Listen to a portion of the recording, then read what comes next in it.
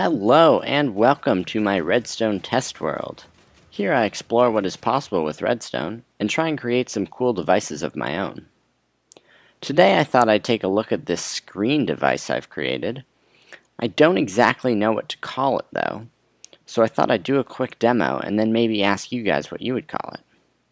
Alrighty, let's hop into it.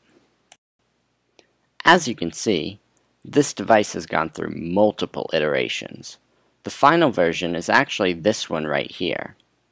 However, it's a bit hard to write the inputs and see the screen at the same time, so for the sake of the video, I'm using an exact replica with the busing brought around to the front. Let's get started on the demonstration.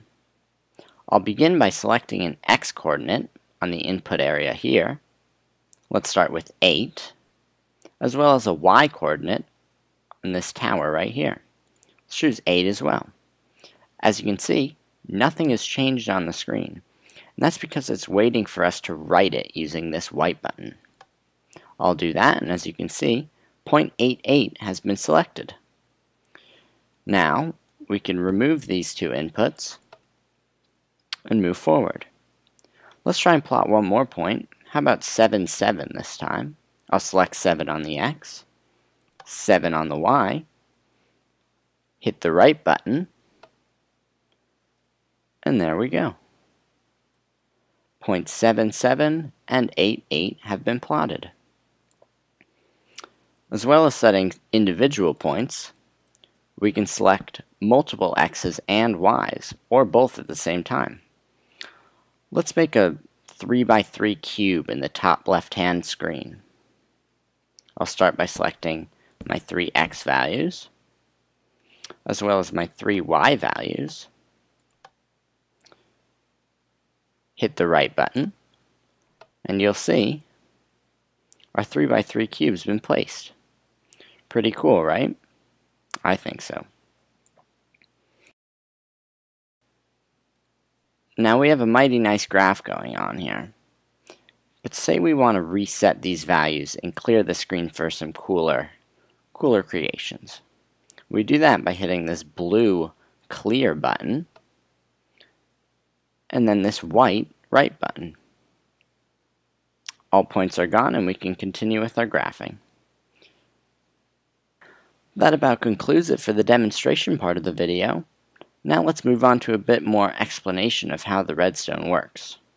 We'll start with the input area, and this is an x and y coordinate system devised by Rand OMFG. It's basically a series of AND gates where it checks if an X value and a Y value are selected. If so, it'll select the corresponding torch.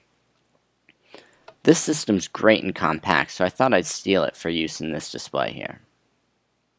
Moving on, we have the heart of the system, and that's these D flip-flops in gray and white. What these allow us to do is select an input value, either true or false, and then write it using this button here.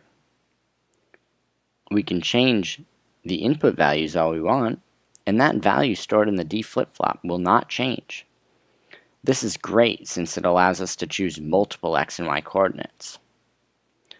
In the gray and blue, we have a series of RS NOR latches.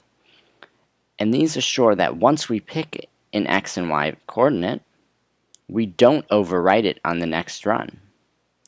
As I was creating this system, I really focused on modularity and tileability. If I were to take this, duplicate it, and place it right next to itself over here, it would work exactly as it does now. Well, that about concludes this video.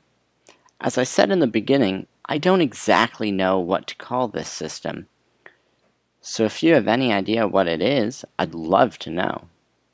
I hope you enjoyed the video, and I'll see you next time.